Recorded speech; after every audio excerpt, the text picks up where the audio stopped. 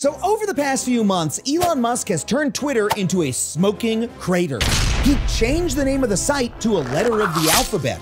He's removing basic features like link previews and the block button, you know, the only feature that makes the site usable in the first place. He's testing out a new policy that will require you to pay to use Twitter. And the entire platform has become such a cesspool of anti Semitism that Elon announced he's going to sue the Anti Defamation League. Like, does he think that makes him seem less anti Semitic? I don't know. The point is, it has gotten so bad on Twitter that many users have announced they're leaving forever. But you know what's weird? For the most part, we haven't. Twitter has lost an astonishing 90% of its value since Elon bought it, but somehow it's only lost around 5% of its users. Despite Elon's best efforts to trash the site, Twitter did not become the next Tumblr, a haunted city of geriatric millennials still posting about old CW shows. No, instead, we're all still refreshing an app we hate over and over again while it circles the toilet we're checking it on. So, why are we all still trapped in Elon's social media saw dungeon? Well, in this video, I'll tell you the surprising reason we still all need Twitter and how once we understand that, we can use that knowledge to build a better internet for all of us. But before we get into it, I want to thank everybody who supports this channel on a website not controlled by a delusional self-sabotaging billionaire, Patreon. Your donations make these videos possible and allow me to pay my crew, like my producer Tony, who's trying to save up for a blue check mark so he can always be at the top of Ariana Grande's replies. So if you want to chip in, head to patreon.com slash Adam Conover. I also want to thank our data partner, usafacts.org, for making this video possible. If you want the real facts about America, head to usafacts.org. And finally, I just want to remind you that I am a touring stand-up comedian, so if you want to see me in a city near you, head to adamconover.net for tickets and tour dates. So just because I'm arguing we need Twitter, that doesn't mean I'm an Elon fan. I mean, a few months ago, I made an entire video about why his purchase of Twitter proved that Elon is dumb as shit. But you know what? My comment section was filled with Musk munchers singing Elon's praises, saying that he's a misunderstood genius who takes big risks and always comes out on top. Well, you know what? I have to hand it to Elon. He actually impressed me. He proved the naysayers wrong by doing something even dumber. In the worst rebranding blunder since New Coke, he changed the name of Twitter to X. Twitter was one of the most recognizable brands in the world, up there with Apple, Mickey Mouse, and Mario. The word tweet is literally part of popular culture. So, marketing analysts believe that by throwing all that in the trash and replacing it with, you know, a letter of the alphabet, Musk destroyed $20 billion in brand value. What possible justification could there be for dousing $20 billion of your own money in gasoline and lighting a match? Well, Elon's a genius, so he's got to have one, right? Yeah, turns out he does. It's that he likes the letter X. That's it. Dude literally just thinks it's a cool letter. Maybe he likes the spiky bits and thinks it looks like a ninja star. I don't fucking know, but that's the reason. Musk has been obsessed with the letter X since at least 1999, when he spent $18 million to buy the domain name X.com so he could use it for his new financial transaction service. Maybe Elon thought the X would make people think of a treasure map. Uh, just one problem what it actually makes people think of is porn. And when Elon's business partners told him that, he just couldn't let it go. Elon is obsessed with X. He thinks about X all day. He wants to have X on everything he owns. So when he wouldn't see reason, the board of the company kicked him out as CEO and renamed the company PayPal, which could be about porn too, depending on what kind of pal we're talking about. But today, over 20 years later, Elon still can't get enough X. So he ditched the iconic Twitter bird and replaced it with this. And let's be clear, that's not even a logo. It's just one of the default math symbols that comes with every computer's font library. Dude literally changed one of the most valuable brands in the world to a wingding. I mean, we're not even supposed to call them tweets anymore. Elon says that now they're called X's. So now you get to say, hey, did you see the X I X'd on X? I got re-X'd by Xzibit. You know how I can tell this rebrand was a failure? Because no one is doing this. Everyone still just calls it Twitter. The only people who call it X at all are reporters whose editors force them to write X formerly known as Twitter. Elon turned the world's fifth most popular website into the artist formerly known as Prince. And if you're wondering why he would act so erratically, well, also like Prince, he is on a shitload of drugs. According to reporting from The New Yorker, Elon is a heavy and frequent ketamine user, which experts say can make you feel detached from your body, grandiose, and like you have special powers or talents. Now, look, I don't judge. I love a good drug. Who doesn't enjoy feeling like you have special powers? When I eat an edible, I gain the power to polish off an entire five pints of Jeni's. But when I have a big idea while I'm blazed out of my gourd, I don't do it. I write it down in my high notebook so I can have fun the next day figuring out what internet made of hexagons means. But when the ketamine goblins come and give Elon suggestions from their dark master, he actually does that shit. Like just last month, Elon removed the titles from every news article. So now when your friend posts a link with crazy if true, Twitter doesn't tell you what the article's about. You just see a picture of Joe Biden, which, I mean, yeah, it would be crazy if Joe Biden were true, but it kind of makes it hard to use the site to follow the news. Like, yo, dude, you see the news about climate change? Turns out smokestacks are happening. Twitter is just straight up worse to use than it was two years ago, and it already sucked then, so the bar was low. As a result, there's a huge demand for an alternative platform, a new Twitter, a promised land where the posts run free as water and they're never beating your ass in the QTs. There's just one problem.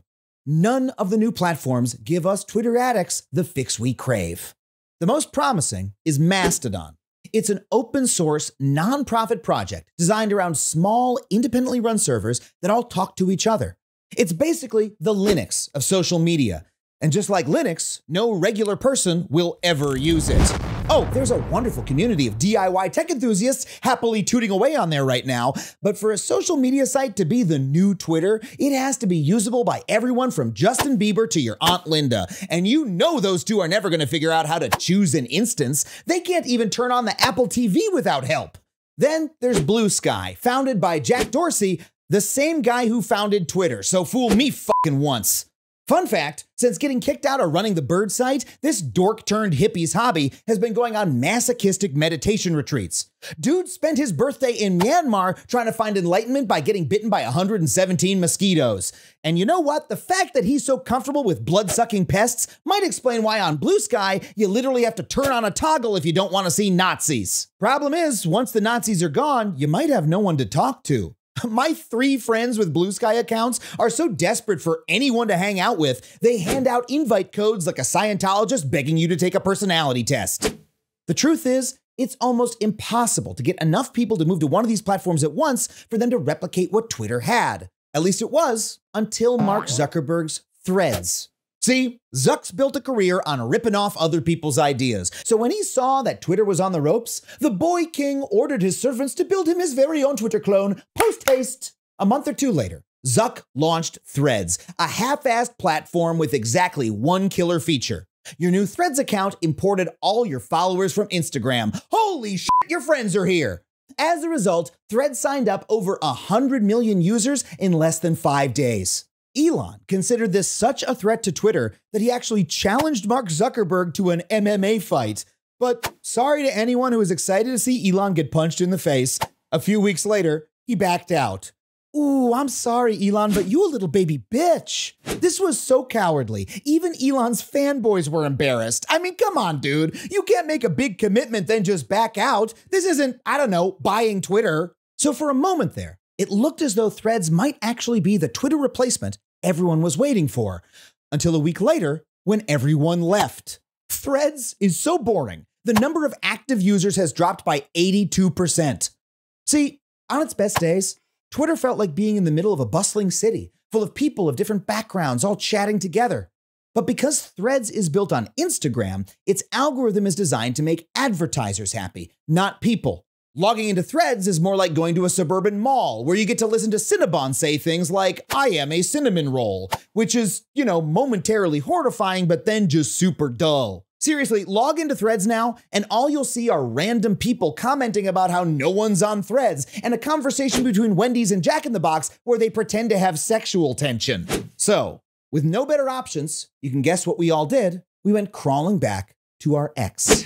See, as fucked up as it is, Twitter still provides something that no other social network does. It's flat, it's open, it's totally searchable, and most importantly, it's the one place on the internet where literally everyone hangs out. It's like a party that the whole town is at. Sure, the booze ran out years ago, there's a rat in the floorboards, and some weird guy out front is trying to charge you eight bucks to get in. But what are you supposed to do? This is where the party is. These qualities made Twitter an essential tool, not just to talk to your friends in your little silos like on Facebook, but to broadcast a public persona to the world and to give everyone a way to interact with that persona.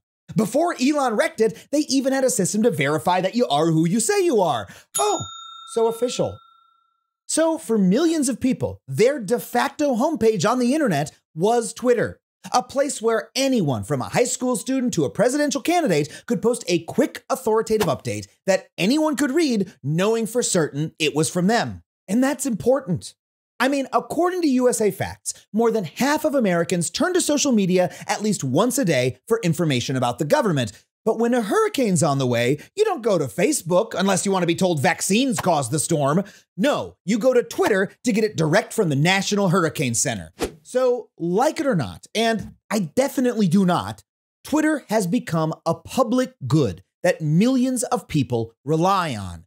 And that means we can't just quit it any more than we can quit roads or electricity. We need it and we're stuck with it. And for that reason, it's kind of bad that a single drug addled billionaire has control over it. And you know what? I think Elon knows that. That's why he bought Twitter. He didn't buy a website, he bought us because he knows we can't leave. See, buried among all of Elon's stupidity, there actually is one nefariously brilliant business idea.